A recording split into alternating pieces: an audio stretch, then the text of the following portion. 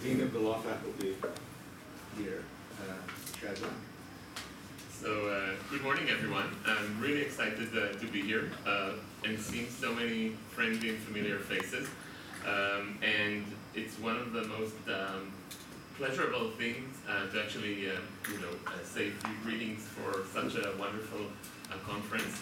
Um, I'm not going to say much, um, except for the fact that um, even though the topic might sound might sound um, as if it's not related to anything that happens um, in politics or in the world the methodological attention in understanding markets, uh, but I think that very quickly um, we can see how um, relevant and how pressing um, the discussions um, are going to be. Um, I want to say a special thanks um, to the organizers, uh, Hanoch uh, Ralf Michaels, um, Roy Kreitner, and Marietta Auer. Um, and to also say how meaningful uh, and important for us, uh, that is the Tel Aviv University Law School, um, the connections with the Max Planck Institutes.